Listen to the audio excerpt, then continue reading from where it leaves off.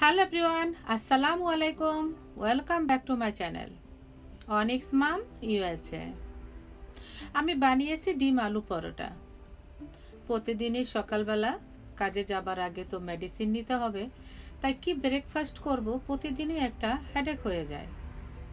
হয়তো রুটি বানাই বা কিছু না কিছু একটু ব্রেকফাস্ট তো করতেই হয়। আর আজকে চিন্তা করতেছিলাম, রুটি বানাবো তা আবার একটা ভাজি বানাতে হবে বা কিছু না কিছু তো একটা রুটির সাথে অবশ্যই লাগবে। তাই চিন্তা করলাম একটু একসাথেই সিম্পল কিছু বানিয়ে নিই। তাই বানিয়েছি ডিম আলু পরোটা। আমি একটা পেনে একটু মরিচ কুচি দিয়ে আর একটু কারি পাতা আর একটু পাঁচফোড়ন দিয়ে দিয়েছি।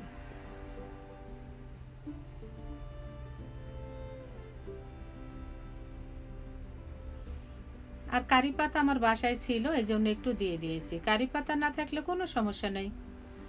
আর এটা কোনো কপি করা রেসিপি না। আমার যা মন চাচ্ছে আমি তাই দিয়ে বানিয়ে নিচ্ছি। এখন পাঁচফোড়ন কারি পাতা আর মরিচটা একটু ভালো করে ভেজে নেব। আর এইদিকে আমি মাইক্রোওভেনে আলু দিয়ে দিয়েছি। আলু সিদ্ধ হয়ে গেছে। দুইটা আলু সিদ্ধ করে মাশ করে নিয়েছি।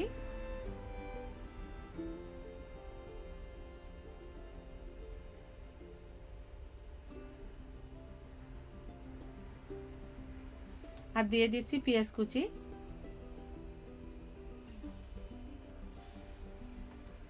এখন একটু ভালো করে পেঁয়াজটা ভেজে নেব।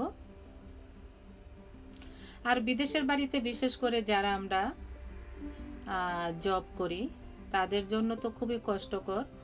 বাহিরে জব করা, বাসায় এসে আবার সব রান্না বান্না ক্লিনিং এভরিথিং বাট এভাবেই লাইফ চলে যায়, আমরা ইস্টু হয়ে গেছি, কোনো সমস্যা হয় না। এভাবে কোনো না কোনো আইটেম বানিয়ে আমরা খেয়ে চলে যাই। এখন দিয়ে দিলাম ডিম।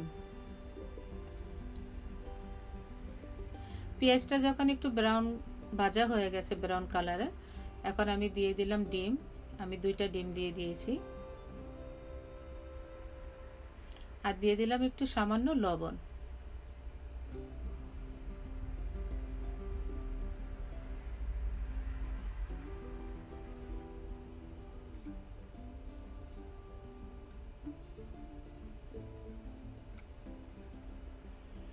আর দিয়ে দিলাম কাঁচামরিচ কুচি আর আলু। আমি আগেই বলেছি, আমি দুটো আলু মাইক্রোওয়েভে দিয়ে মানে সিদ্ধ করে নিয়েছি। আপনারা চুলায় বয়ল করেও নিতে পারেন, কোনো সমস্যা নেই।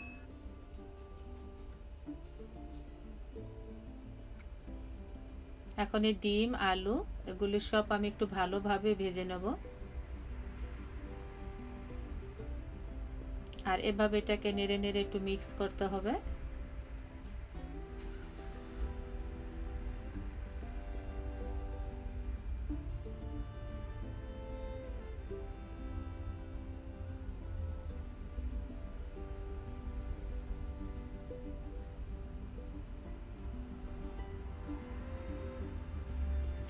আমার ডিম আর আলুটা মোটামুটি ভাজা হয়ে গেছে। আমি দিয়ে দিলাম ধনিয়া পাতা কুচি। আপনারা ইচ্ছা করলে আলুর পরিমাণটা আর একটু বেশিও দিতে পারেন।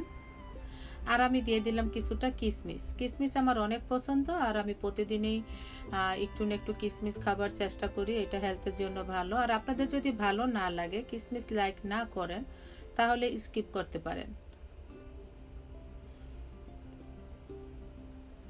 এই তো হয়ে গেছে আমার ডিম, আলুর পুরটা পুরো পারফেক্টভাবে আমি বানিয়ে নিলাম।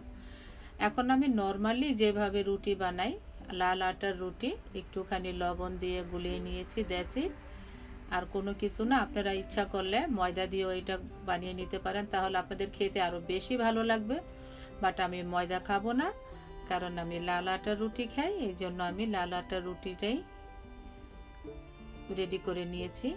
ঠিক এইভাবে এভাবে করে একটু ভিতরে ভরে নেবেন। আমরা যেভাবে আলু পুরি বানাই, আর এটা একটু বড় হবে দ্যাটস ইট ঠিক আলু পুরির মতনই শেপ করে আমি ভরে নিয়েছি, শুধু একটু বড় করে দ্যাটস ইট এই এইটুকু ডিফারেন্ট হবে। আর এখন আমি হালকা করে একটু বেলে নেব।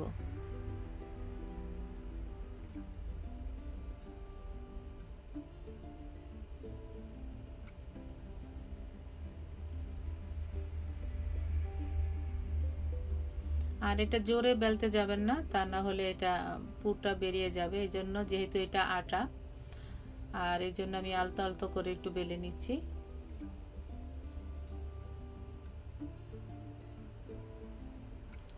আর আমার কাছে আটাটাও খেতে অনেক ভালো লাগে, আটার আলু পরোটা। এখন আমি এটা ভেজে নেব, একটা ফ্রাই প্যান গরম করে। আমি হালকা একটু তেল অ্যাড করে দিলাম। আর এটা একটু মিডিয়াম ফ্লেমে ভেজে নেবেন, যাতে পুড়ে না যায়।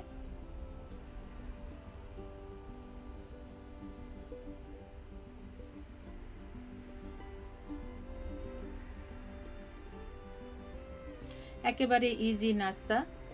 বাজির দরকার নেই, কোনো কিছু দরকার নেই। এভাবে মাঝে মাঝে যদি শর্টকাটভাবে একটু ডিম আলু পরোটা বানিয়ে নেওয়া যায়, তাহলে খারাপ হয় না। আর এটা খেতেও অসম্ভব মজা হয়েছিল আলহামদুলিল্লাহ।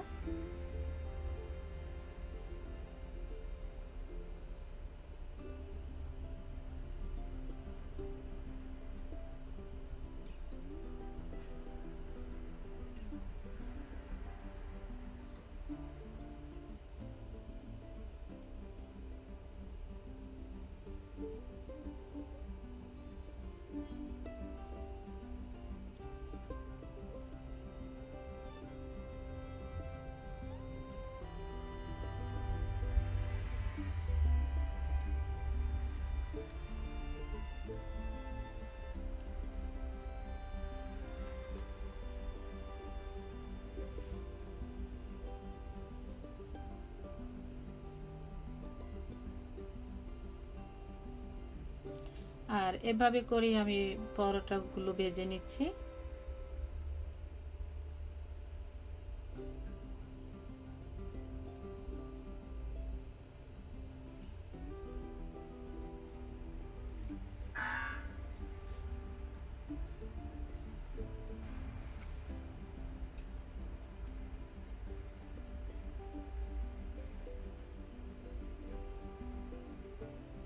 দেখুন, সুন্দরভাবে পরোটাটা ফুলে উঠেছে।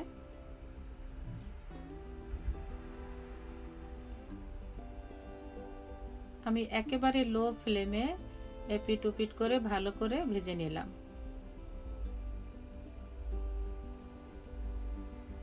আর আমি সার্ভ করব একটু টক দই আর আচারের সাথে। আর এটা টক দই বা আচারের সাথে খেতে খুবই ভালো লাগে। আর আমার এই শর্টকাট রেসিপিটি যদি ভালো লাগে, তাহলে অবশ্যই আমার চ্যানেলটি লাইক করবেন সাবস্ক্রাইব করবেন এবং বেল আইকন ক্লিক করে আমার পাশেই থাকবেন। আল্লাহ হাফেজ।